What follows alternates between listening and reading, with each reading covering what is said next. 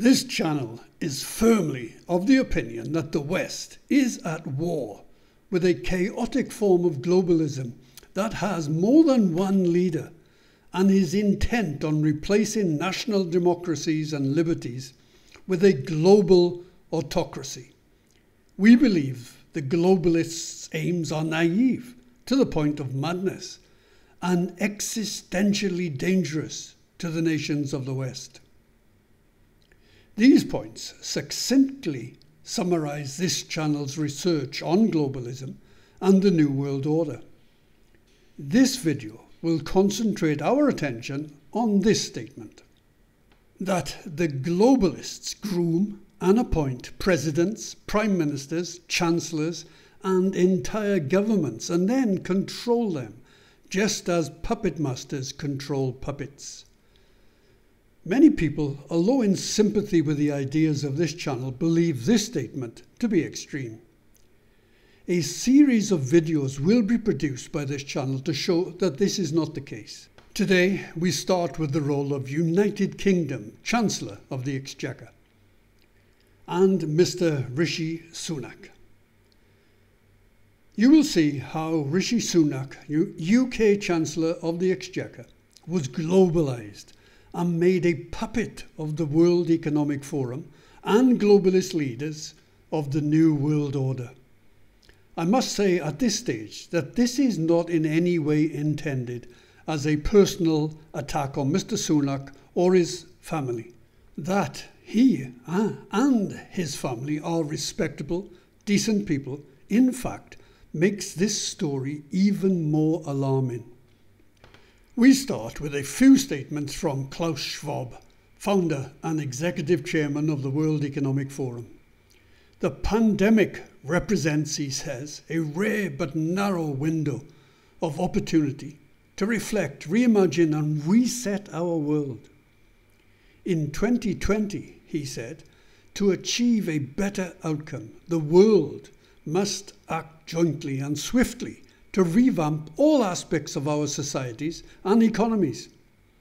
In short, we need a great reset of capitalism.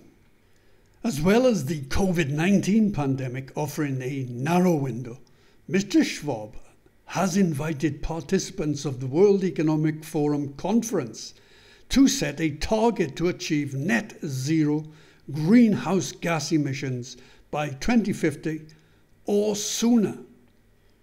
It was then stated at the COP26 Finance Day speech November 2021. So, our third action is to rewire the entire global financial system for net zero. But it was not Schwab that said that. It was Mr. Rishi Sunak, the UK Chancellor of the Exchequer. Our third action is to rewire the entire global financial system. Thus spoke a man with only around six years' experience of national politics and less than two years' experience as Chancellor. His track record is not unblemished. Mr Sunak was appointed UK Chancellor on February 13, 2020. And at the outset of the COVID 19 pandemic, he was a member of the Cabinet that planned and agreed the first UK lockdown announced by Boris Johnson on March 23, 2020. Very briefly, we will look at how someone that believes he can rewrite the entire global financial system for net zero performed during the COVID 19 lockdown in the UK. Mr. Sunak put forward several schemes to help the British people and especially businesses cope with lockdown. He announced the Coronavirus Job Retention Scheme, where the UK government would cover 80% of a furloughed employee wages up to £2,500 per month. This was duly noted on the WEF's website. He made available the Coronavirus Bounce Back Loan and the Coronavirus Business Interruption Loan Scheme. It may be fair to say that these schemes looked quite good on a spreadsheet, but did not take into account the harsh practicalities and realities of the commercial world that includes corruption and fraud. In June 2021, the Department for Business estimated the bounce back loan scheme would cost the taxpayer 27 billion pounds in fraud or credit losses. In November 2021, it was reported that the furlough scheme had suffered a loss of 5.2 billion pounds due to fraud. In January 2022, it was estimated that up to 5 billion pounds worth of loans had in fact been paid out to fraudsters. As a result of this mismanagement, Lord Agnew quit his role as Treasury Minister and called oversight of schemes nothing less than woeful. There thus seems to be a huge gap between the UK Chancellor's current track record and the enormous task of rewiring the entire global financial system for net zero. But how did someone with very limited political experience come to be in this position and how were his global philosophies inculcated? To answer this, we need to look at Mr. Sunak's background. Mr. Sunak describes himself as a first generation immigrant. His parents, of Indian descent, emigrated to the UK from East Africa. Mr. Sunak's father was an NHS GP and his mother ran a small chemist shop or pharmacy. He was born on 12 May 1980 in Southampton, Hampshire, England.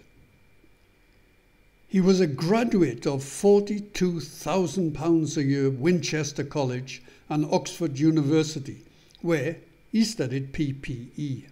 In 2006, Sunak obtained an MBA from Stanford University, where he was a Fulbright scholar. This is important. There are close links between Fulbright scholars and the World Economic Forum. We will pick a random example to demonstrate the connection. Miss Nima Elmi is the head of Government Affairs, Centre for the Fourth Industrial Revolution, World Economic Forum. She is a UK Fulbright scholar. According to its website, Nima was selected to join the Forum of Young Global Leaders by the World Economic Forum in 2016. This demonstrates one example of the young, intelligent people who are utterly committed to globalist ideas that Mr. Sunak will have rubbed shoulders with at Stanford University. He met another intelligent woman at Stanford, his future wife Akshata. Akshata's father, N.R. Narayana Murthy, is India's sixth wealthiest man and is believed to be worth over 3 billion US dollars. Mr. Murthy made his wealth through an IT company, Infosys. And this brings us to another important connection with globalism. Infosys is a company based in India Mr. Murthy, although retired, still features strongly on the Infosys website. Its core capabilities require strong, large customers, such as Pfizer, and national governments, for whom it develops systems such as baby birth ID registration. Infosys grew to its present size directly as a result of one aspect of globalization that is outsourcing, where large companies and national governments reduce the work carried out nationally and outsource this work to companies in other countries, such as Infosys in India. To cope with work visas, international payments, etc., it is essential that outsourcing companies have a close working relationship with governments. Here you see, as an example, Mr. Murthy with Russian President Putin. The connection between globalism and outsourcing is strong. This CGSRS report notes that globalization has led to an increase in the level of outsourcing of activities and functions by organizations.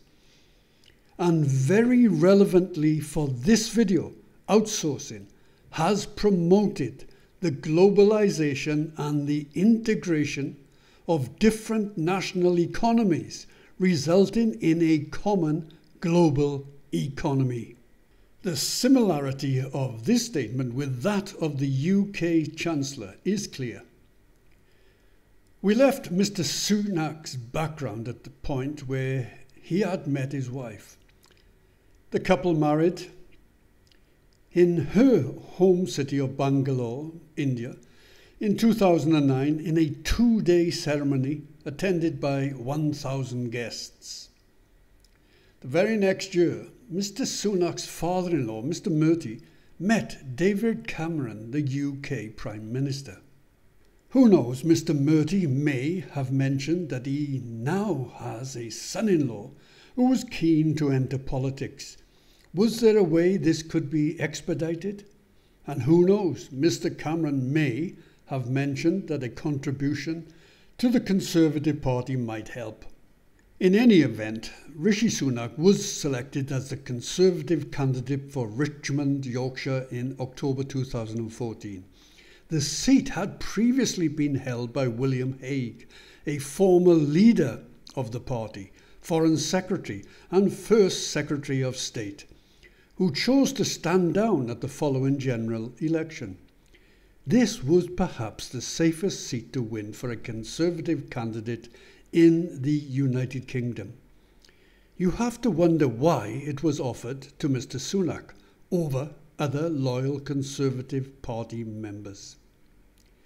Whatever the rationale behind his selection, a few months later in January 2015, the World Economic Forum reported that an important sponsor of Mr. Sunak, Prime Minister Cameron, had met US President Obama to discuss economic prosperity. A few months later, Mr. Sunak was duly elected as MP for the Richmond constituency in the 2015 general election. He was then appointed as Chief Secretary to the Treasury by Prime Minister Boris Johnson on 24 July 2019 and served under Chancellor Sajid Javid until February 2020 at which point he replaced Sajid Javid and was appointed UK Chancellor of the Exchequer February 2020. He was then able to follow the objectives of his globalist masters, as do many other politicians. Let us be very clear this particular objective is to implement a global financial and economic system, no matter what effect that has on individual nations. And many nations, including the UK, are seeing their standard of living being gradually but relentlessly reduced. As this tweet on April 2022 says, I can no longer afford heating. I can no longer afford to put fuel in my car. This is no exaggeration. Their plan is to keep ramping the cost of living up and up until we reach a point where we accept centralized digital currency with open arms. I want a revolution instead. And although Rishi Sunak had announced his spring budget in March, many people, including Sir John Redwood, the UK Conservative Party politician, are calling for an emergency budget to tackle the cost of living crisis in the United Kingdom. This issue is a direct result of how the globalists, and in particular Klaus Schwab, perceive and define the world. In their simplistic and naive and destructive perception, the world contains every country from the United States to China. But China, India, Russia, as well as much of Africa and the Middle East, have their own nationalistic plans. They watch while the West faces chaos from the globalists, while they take advantage of each globalist blunder.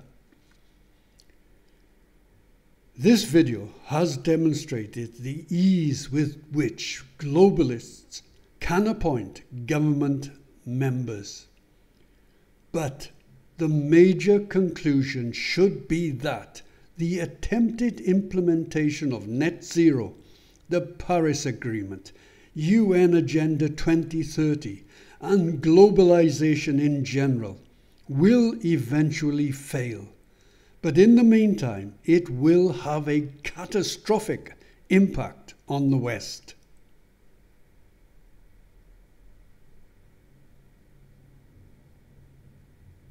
This community combines the topics of climate change, COVID 19, and the New World Order. If you would like to join our community, you can find us on locals.com. The New World Order. This link will take you directly to our site.